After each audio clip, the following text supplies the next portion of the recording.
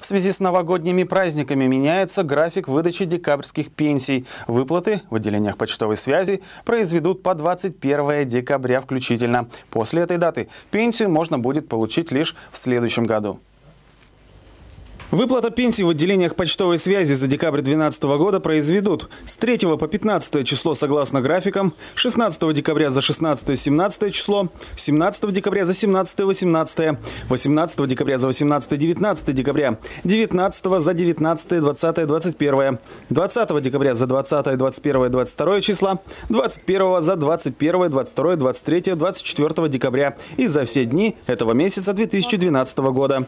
Кто не сможет прийти за пенсией, пенсии в этом году смогут получить ее на почте с 3 января. Выплаты за январь произведут согласно графику доставки пенсий и режиму работы почты с 3 января 2013 года.